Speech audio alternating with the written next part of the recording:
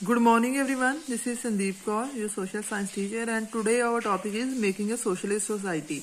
ਜਿਹੜਾ ਦੇਖੋ ਆਪਾਂ ਦੇਖਿਆ ਕਿ ਰੈਵੋਲੂਸ਼ਨਸ ਹੁੰਦੇ ਨੇ ਰੈਵੋਲੂਸ਼ਨਸ ਤੋਂ ਬਾਅਦ ਵਿੱਚ ਸਿਵਲ ਵਾਰ ਚੱਲਦੀ ਹੈ ਔਰ ਨੈਕਸਟ ਟੌਪਿਕ ਕੀ ਹੈ ਕਿ ਹੁਣ ਸਿਵਲ ਵਾਰ ਖਤਮ ਹੋ ਚੁੱਕਾ ਹੈ ਔਰ ਜਿਹੜੀ ਰਸ਼ੀਅਨ ਗਵਰਨਮੈਂਟ ਹੈ ਰਸ਼ੀਅਨ ਸੋਸ਼ਲਿਸਟ ਗਵਰਨਮੈਂਟ ਹੁਣ ਇੱਕ ਸੋਸਾਇਟੀ ਬਣਾ ਰਹੀ ਹੈ, ਜਿਹਦੀ ਕਿ ਸੋਸ਼ਲਿਸਟ ਸੋਸਾਇਟੀ ਹੈ। ਜਿਹਦੀ ਗੱਲ ਕਰਕੇ ਉਹ ਜਿਹੜਾ ਹੈਗਾ, ਉਹਨਾਂ ਨੇ ਸਾਰੀ ਸਾਰੀ ਪਾਵਰ ਨੂੰ ਟੇਕ ਓਵਰ ਕੀਤਾ ਕਿ ਸੋਸ਼ਲਿਸਟ ਸੋਸਾਇਟੀ ਬਣਾਉਣਗੇ। ਸੋਸ਼ਲਿਸਟ ਸੋਸਾਇਟੀ ਕੀ ਹੁੰਦੀ ਬੇਟਾ? ਜਿਹਦੇ ਵਿੱਚ ਸਾਰੇ ਦੇ ਸਾਰੇ ਪਰਸਨਸ ਜਿਹੜੇ ਨੇ ਇਕੁਅਲੀ ਇੰਪੋਰਟੈਂਟ ਹੁੰਦੇ ਨੇ ਔਰ ਇਹਨਾਂ ਦਾ ਸੋਸ਼ਲ ਔਰ ਇਕਨੋਮਿਕ ਸਟੇਟਸ ਸੋਸ਼ਲ ਇਕਨੋਮਿਕ ਔਰ ਪੋਲੀਟੀਕਲ ਸਟੇਟਸ ਜਿਹੜਾ ਹੈ ਇਕੁਅਲ ਹੁੰਦਾ ਹੈ। ਜਿਵੇਂ ਆਪਣੇ ਦੇਸ਼ ਵਿੱਚ ਕੀ ਹੈ, ਕੋਈ ਅਮੀਰ ਹੈ, ਗਰੀਬ ਹੈ ਬਟ ਇੱਕ ਸੋਸ਼ਲਿਸਟ ਸੋਸ਼ਲਿਸਟ ਸੋਸਾਇਟੀ ਉਹਨੂੰ ਕਿਹਾ ਜਾਂਦਾ ਹੈ, ਜਿਹਦੇ ਵਿੱਚ ਹਰ ਇੱਕ ਪਰਸਨ ਜਿਹੜਾ ਹੈ, ਉਹਦਾ ਇਕਨੋਮਿਕ ਜਿਹੜਾ ਸਟੇਟਸ ਹੈ, ਉਹ ਵੀ ਕੀ ਹੋਏ ਕਾਮਨ ਹੋਏ ਯਾਨੀ ਕਿ ਕੋਈ ਅਮੀਰ ਔਰ ਗਰੀਬ ਨਾ ਹੋਏ, ਠੀਕ ਹੈ? ਕਹਿੰਦੇ ਕਿ ਜਦੋਂ ਸਿਵਲ ਵਾਰ ਚੱਲਦਾ ਪਿਆ, ਜਿਹੜੇ ਸੋਸ਼ਲਿਸਟ ਹੁੰਦੇ ਆ, ਉਹ ਕੀ ਕਰਦੇ ਨੇ ਇੰਡਸਟਰੀਜ਼ ਔਰ ਬੈਂਕਸ ਨੂੰ ਜਿਹੜਾ ਨੈਸ਼ਨਲਾਈਜ਼ਡ ਹੀ ਕਰੀ ਰੱਖਦੇ ਨੇ, ਠੀਕ ਹੈ? ਔਰ ਨੈਕਸਟ ਪੀਜ਼ਨਟਸ ਜਿਹੜੇ ਹੈਗੇ, ਉਹਨਾਂ ਨੂੰ ਉਹਨਾਂ ਨੇ ਪਰਮਿਸ਼ਨ ਦੇ ਦਿੱਤੀ ਕਿ ਜਿਹੜੇ ਲੈਂਡ ਲਾਰਡਸ ਜਾਂ ਵੱਡੇ, ਕਈ ਅਮੀਰ ਲੋਕਾਂ ਕੋਲ ਹੈਗੇ ਲੈਂਡ ਏਰੀਆ ਹੈ, ਉਹਨੂੰ ਉਹ ਕਲਟੀਵੇਟ ਕਰ ਸਕਦੇ ਨੇ, ਠੀਕ ਹੈ?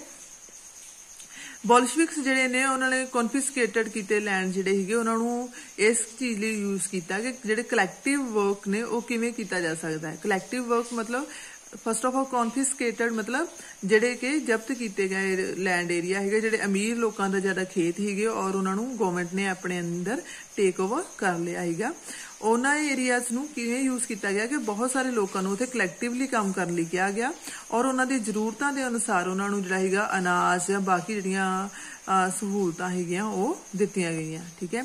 ਨੈਕਸਟ ਹੈ ਕਿ ਕਹਿੰਦੇ ਕਿ ਜਿਹੜਾ ਸੈਂਟਰਲਾਈਜ਼ਡ ਪਲੈਨਿੰਗ ਹੈਗੀ ਉਹਨੂੰ ਇੰਟਰੋਡਿਊਸ ਕੀਤਾ ਗਿਆ ਯਾਨੀ ਕਿ ਜਿਹੜੀ ਸਾਰੇ ਦੇ ਸਾਰੇ ਦੇਸ਼ ਲਈ ਪਲੈਨਿੰਗ ਕੀਤੀ ਜਾਣੀਗੀ ਕਿ ਕਿਵੇਂ ਇਕਨੋਮਿਕ ਗਰੋਥ ਹੋਏਗੀ ਜਾਂ ਕੁਝ ਵੀ ਕਿਵੇਂ ਦੀਆਂ ਸੋਸ਼ਲ ਪਾਲਿਸੀਜ਼ ਹੋਣਗੀਆਂ, ਉਹਨਾਂ ਸਾਰਿਆਂ ਜਿਹੜੀ ਹੈਗਾ ਹੀਗਾ ਉਹਨਾਂ ਦੀ ਪਲੈਨਿੰਗ ਜਿਹੜੀ ਹੈਗੀ ਉਹ ਸੈਂਟਰਲ ਲੈਵਲ ਤੇ ਕੀਤੀ ਜਾਣ ਲੱਗੀ, ਠੀਕ ਹੈ?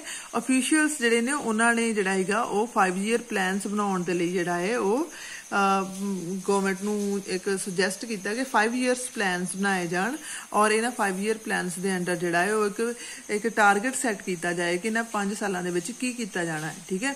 ਔਰ ਉਹਨਾਂ ਉਹਨਾਂ ਟਾਰਗੇਟਸ ਨੂੰ ਲੈ ਕੇ ਫੰਡ ਜਾਰੀ ਕੀਤੇ ਜਾਣ, ਠੀਕ ਹੈ? ਔਰ ਇਸ ਤਰੀਕੇ ਨਾਲ ਹੌਲੀ ਹੌਲੀ ਜਿਹੜੀ ਗਰੋਥ ਹੈ, ਉਹਨੂੰ ਕੀਤਾ ਜਾ ਸਕੇ।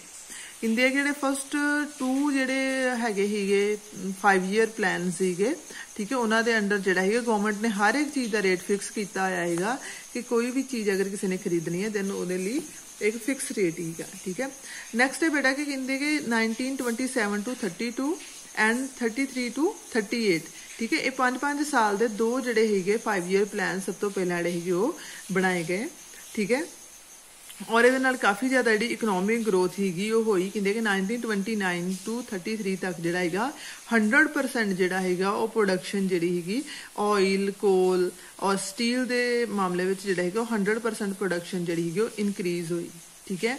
ਔਰ ਨਵੀਆਂ ਫੈਕਟਰੀਜ਼ ਜਿਹੜੀਆਂ ਹੈਗੀਆਂ, ਉਹ ਲਗਾਉਣੀਆਂ ਸ਼ੁਰੂ ਕਰ ਦਿੱਤੀਆਂ ਗਈਆਂ।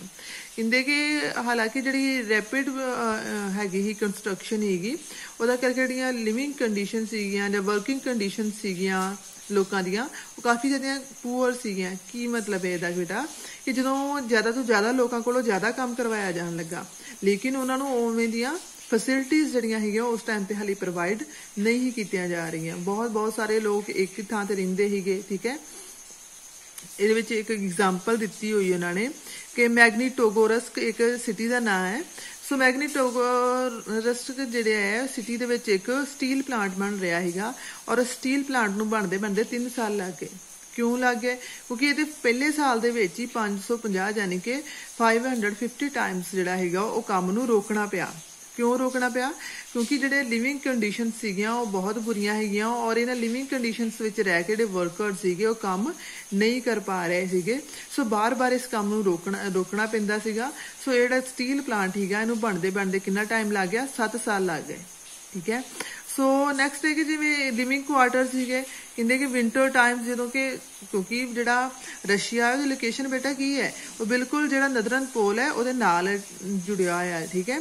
ਸੋ ਕਹਿੰਦੇ ਜਦੋਂ 40 ਡਿਗਰੀ ਬਿਲੋ ਯਾਨੀ ਕਿ -40 ਡਿਗਰੀ ਟੈਂਪਰੇਚਰ ਹੁੰਦਾ ਹੈਗਾ ਔਰ ਲੋਕੀ ਜਿਹੜੇ ਹੈਗੇ ਉਹਨਾਂ ਦੇ 4th ਫਲੋਰ ਦੇ ਉੱਤੇ ਅਗਰ ਕੋਈ ਰਹਿ ਰਿਹਾ ਹੈ, ਕੋਈ ਮਜ਼ਦੂਰ ਜਿਹੜਾ ਰਹਿ ਰਿਹਾ ਹੈ ਸੋ ਉਹਨਾਂ ਨੂੰ ਅਗਰ ਉਹਨਾਂ ਨੇ ਸਮ ਟਾਈਮਸ ਟਾਇਲਟ ਲਈ ਜਾਣਾ ਹੈ ਦੈਨ ਉਹਨਾਂ ਨੂੰ ਕੀ ਹੈਗਾ ਇੰਨੀ ਠੰਡ ਦੇ ਵਿੱਚ ਵੀ 4-4 ਮੰਜ਼ਲਾਂ ਨੀਚੇ ਆ ਕੇ ਦੈਨ ਉਹ ਜਾ ਸਕਦੇ ਹੈਗੇ ਕਿਵੇਂ ਵੀ ਤਰ੍ਹਾਂ ਦੀ ਫੈਸਿਲਿਟੀ ਜਿਹੜੀ ਹੈਗੀ ਉਹ ਉੱਪਰ ਕਿਵੇਂ ਵੀ ਪ੍ਰੋਵਾਈਡ ਨਹੀਂ ਹੈਗੀ, ਠੀਕ ਹੈ? ਇਹਦੇ ਨਾਲ ਹੀ ਨੈਕਸਟ ਸਕੂਲਸ ਸ਼ੁਰੂ ਕੀਤੇ ਗਏ, ਨਵਾਂ ਇੱਕ ਐਕਸਟੈਂਡਡ ਸਕੂਲ ਸਿਸਟਮ ਸ਼ੁਰੂ ਕੀਤਾ ਗਿਆ ਔਰ ਅਰੇਂਜਮੈਂਟਸ ਕੀਤੇ ਗਏ ਕਿ ਫੈਕਟਰੀ ਵਰਕਰਸ ਔਰ ਜਿਹੜੇ ਪੀਜੈਂਟਸ ਨੇ ਯਾਨੀ ਜਿਹੜੇ ਕਿਸਾਨ ਨੇ, ਉਹ ਵੀ ਯੂਨੀਵਰਸਿਟੀਆਂ ਵਿੱਚ ਦਾਖਲਾ ਲੈ ਕੇ ਆਪਣੀ ਸਿੱਖਿਆ ਲੈ ਸਕਣ। ਕ੍ਰੈਸ਼ ਕ੍ਰੈਸ਼ ਕੀ ਹੁੰਦੇ ਬੇਟਾ? ਜਿੱਥੇ ਛੋਟਾ ਬੱਚਾ ਜਦੋਂ ਕਿ ਉਹ ਚੱਲ ਫਿਰ ਨਹੀਂ ਸਕਦਾ ਔਰ ਸਕੂਲ ਜਾਂਦੀ ਹਲੇ ਉਹਦੀ ਏਜ ਨਹੀਂ ਹੈ ਦੈਨ ਉਹ ਸੈਂਟਰਸ ਹੁੰਦੇ ਨੇ ਜਿੱਥੇ ਜਿਹੜੀਆਂ ਵਰਕਿੰਗ ਔਮਨਸ ਨੇ, ਉਹ ਆਪਣੇ ਬੱਚਿਆਂ ਨੂੰ ਉਹਨੇ ਟਾਈਮ ਲਈ ਛੱਡ ਛੱਡ ਕੇ ਜਾਂਦੀਆਂ ਨੇ ਜਿੰਨੇ ਟਾਈਮ ਲਈ ਉਹ ਡਿਊਟੀ ਤੇ ਨੇ, ਠੀਕ ਹੈ? ਸੋ ਉਹਨਾਂ ਨੂੰ ਕ੍ਰਸ਼ ਕਿਹਾ ਜਾਂਦਾ ਹੈ ਸੋ ਐਵੇਂ ਦੇ ਕ੍ਰਸ਼ ਜਿਹੜੇ ਹੈਗੇ ਉਹ ਫੈਕਟਰੀਜ਼ ਦੇ ਕੋਲ ਸ਼ੁਰੂ ਕੀਤੇ ਗਏ, ਤਾਂ ਕਿ ਜਿਹੜੇ ਫੈਕਟਰੀਜ਼ ਵਿੱਚ ਕੰਮ ਕਰਨ ਵਾਲੀਆਂ ਔਮਨਸ ਨੇ, ਉਹ ਆਪਣੇ ਬੱਚਿਆਂ ਨੂੰ ਇਹਨਾਂ ਕ੍ਰਸ਼ ਦੇ ਵਿੱਚ ਛੱਡ ਸਕਣ ਔਰ ਉਹ ਖੁਦ ਕੰਮ ਕਰ ਸਕਣ। ਇਹਦੇ ਨਾਲ ਹੀ ਜਿਹੜਾ ਹੈਗਾ, ਚੀਪ ਲੈਵਲ ਤੇ ਜਿਹੜਾ ਹੈਗਾ, ਉਹ ਹੈਲਥ ਪਬਲਿਕ ਹੈਲਥ ਕੇਅਰ ਜਿਹੜੀ ਕਿ ਪ੍ਰੋਵਾਈਡ ਕੀਤੀ ਗਈ ਯਾਨੀ ਕਿ ਲੋਕਾਂ ਨੂੰ ਸਿਹਤ ਸਹੂਲਤਾਂ ਜਿਹੜੀਆਂ ਹੈਗੀਆਂ, ਉਹ ਕਾਫੀ ਘੱਟ ਘੱਟ ਕੀਮਤ ਤੇ ਪ੍ਰੋਵਾਈਡ ਕੀਤੀਆਂ ਗਈਆਂ। ਔਰ ਨੈਕਸਟ ਹੈ ਕਿ ਜਿਹੜੇ ਲਿਵਿੰਗ ਕੁਆਟਰ ਸੀਗੇ, ਉਹ ਬਣਾਏ ਗਏ ਵਰਕਰਸ ਦੇ ਲਈ, ਠੀਕ ਹੈ? ਬਟ ਇਹ ਜਿਹੜੇ ਸਾਰੇ ਸਾਰੇ ਚੇਂਜਸ ਸੀਗੇ, ਕਹਿੰਦੇ ਕਿ ਇਹਦਾ ਇਫੈਕਟ ਜਿਹੜਾ ਹੈਗਾ ਅਨਈਵਨ ਹੈਗਾ ਅਨਈਵਨ ਕਿਵੇਂ ਹੈਗਾ ਕਿਉਂਕਿ ਜਿਹੜੇ ਗਵਰਨਮੈਂਟ ਦੇ ਸੋਰਸਸ ਸੀਗੇ, ਕਾਫੀ ਲਿਮਟਿਡ ਸੀਗੇ।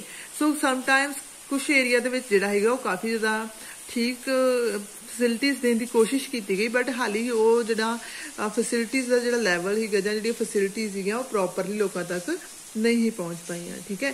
ਸੋ ਇਹਦੇ ਨਾਲ ਹੀ ਬੇਟਾ ਇੱਕ ਪਿਕਚਰ ਦਿੱਤੀ ਹੋਈ ਹੈ, ਦੇਖੋ ਤੁਸੀਂ। ਇਹ ਪਿਕਚਰ ਦੇ ਵਿੱਚ ਜਿਹੜਾ ਹੈ, ਉਹ ਫੈਕਟਰੀਜ਼ ਜਿਹੜੇ ਚਿਮਨੀਜ਼ ਨੇ, ਠੀਕ ਹੈ? ਉਹਨਾਂ ਵਿੱਚ ਇੱਕ ਧੂਆਂ ਨਿਕਲ ਰਿਹਾ ਹੈ, ਠੀਕ ਹੈ? ਜਿਹੜਾ ਸਮੋਕ ਨਿਕਲ ਰਿਹਾ ਹੈ। ਸੋ ਉਹਨੂੰ ਸਿੰਬਲਾਈਜ਼ ਕੀਤਾ ਗਿਆ ਹੈ ਕਿ ਜਿਹੜਾ ਸਮੋਕ ਹੈ, ਇੱਕ ਤਰੀਕੇ ਦੇ ਨਾਲ ਜਿਹੜਾ ਹੈ, ਉਹ ਜਿਹੜਾ ਰਸ਼ੀਅਨ ਸੋਵੀਅਤ ਗਵਰਨਮੈਂਟ ਹੈ, ਉਹਦੇ ਲਈ ਇੱਕ ਤਰੀਕੇ ਦੇ ਨਾਲ ਉਹ ਕੰਮ ਕਰ ਰਿਹਾ ਹੈ। ਸਾਹ ਦਾ ਜਾਂ ਆਕਸੀਜਨ ਦਾ ਤੁਸੀਂ ਕਹਿ ਸਕਦੇ ਹੋ ਕੰਮ ਕਰ ਰਿਹਾ ਕਿਵੇਂ ਕੰਮ ਕਰ ਰਿਹਾ ਕਿਉਂਕਿ ਜਿਹੜੀਆਂ ਫੈਕਟਰੀਜ਼ ਸੀਗੀਆਂ, ਇਹਨਾਂ ਦੇ ਥਰੂ ਜਿਹੜਾ ਸੋਸ਼ਲਿਸਟ ਰਸ਼ੀਅਨ ਗਵਰਨਮੈਂਟ ਹੈਗੀ ਉਹਦੀ ਗਰੋਥ ਹੋ ਰਹੀ ਹੈਗੀ ਇਹਦੇ ਨਾਲ ਪਿਕਚਰਸ ਦਿੱਤੀਆਂ ਹੋਈਆਂ। ਦੇਖੋ ਜਿਹੜੇ ਸਕੂਲਸ ਖੋਲੇ ਗਏ, ਠੀਕ ਹੈ ਸੋਵੀਅਤ ਰਸ਼ੀਆ ਵਿੱਚ ਐਵੇਂ ਕਲੈਕਟਿਵਲੀ ਬੱਚਿਆਂ ਨੂੰ ਪੜਾਇਆ ਜਾਂਦਾ ਹੈਗਾ ਜਾਂ ਕਲੈਕਟਿਵਲੀ ਬੱਚਿਆਂ ਨੂੰ ਜਿਹੜਾ ਉੱਥੇ ਰੱਖਿਆ ਜਾਂਦਾ ਹੈਗਾ ਠੀਕ ਹੈ। ਨੈਕਸਟ ਇੱਕ ਪਿਕਚਰ ਦਿੱਤੀ ਹੋਈ ਹੈ ਬੇਟਾ, ਇਹ ਸੇਮ ਉਸੇ ਸਟੀਲ ਪਲਾਂਟ ਦੀ ਪਿਕਚਰ ਦਿੱਤੀ ਹੋਈ ਆ, ਜਿਹਦੇ ਵਿੱਚ ਇੱਕ ਬੱਚਾ ਜਿਹੜਾ ਹੈ ਉਹ ਮਤਲਬ ਕੁਝ ਕੰਮ ਕਰਨ ਦੇ ਲਈ ਕੋਈ ਕੋਈ ਵੈਪਨ ਕੋਈ ਟੂਲ ਫੜ ਕੇ ਖੜਾ ਹੋਇਆ ਹੈ। ਯਾਨੀ ਕਿ ਉਸ ਟਾਈਮ ਤੇ ਬੱਚਿਆਂ ਦੇ ਕੋਲੋਂ ਵੀ ਬਿਲਕੁਲ ਜਿਹੜੀ ਚਾਈਲਡ ਲੇਬਰ ਸੀਗੀ ਕਰਵਾਈ ਜਾ ਰਹੀ ਸੀ, ਕਿਉਂਕਿ ਇੱਕ ਇੱਕ ਤਰੀਕੇ ਦੇ ਨਾਲ ਇਹ ਹੀਗਾ ਕਿ ਜਿਵੇਂ, ਜਿੰਨੀ ਵੀ ਜਲਦੀ ਜਿਵੇਂ ਵੀ ਕੰਮ ਹੋ ਸਕਦਾ ਉਹਨੂੰ ਕਰਵਾਓ, ਠੀਕ ਹੈ? ਔਰ ਨੈਕਸਟ ਇੱਕ ਪਿਕਚਰ ਨੀਚੇ ਦਿੱਤੀ ਹੋਈ ਹੈ। ਜਿਹੜੀ ਕਿ 1930s ਦੇ ਇੱਕ ਫੈਕਟਰੀ ਦੇ ਡਾਈਨਿੰਗ ਹਾਲ ਦੀ ਹੈ, ਠੀਕ ਹੈ? ਜਦੋਂ ਸਾਡੇ ਸਾਰੇ ਵਰਕਰਸ ਜਿਹੜੇ ਹੈਗੇ ਕਲੈਕਟਿਵਲੀ ਕੰਮ ਕਰਦੇ ਹੈਗੇ ਜਦੋਂ ਉਹਨਾਂ ਨੂੰ ਖਾਣਾ ਪ੍ਰੋਵਾਈਡ ਕੀਤਾ ਜਾਂਦਾ ਹੈਗਾ ਐਵੇਂ ਵੱਡੇ ਵੱਡੇ ਡਾਈਨਿੰਗ ਟੇਬਲਸ ਵਿੱਚ ਔਰ ਉਹਨਾਂ ਨੂੰ ਕੁਆਟਰਸ ਦਿੱਤੇ ਜਾਂਦੇ ਸੀ ਜਿੱਥੇ ਉਹ ਰਹਿੰਦੇ ਹੈਗੇ ਠੀਕ ਹੈ? ਸੋ ਐਵੇਂ ਇੱਕ ਸੋਸ਼ਲਿਸਟ ਸਿਸਟਮ ਜਿਹੜਾ, ਉਹਨੂੰ ਬਣਾਉਣ ਦੀ ਕੋਸ਼ਿਸ਼ ਕੀਤੀ ਗਈ। Thank you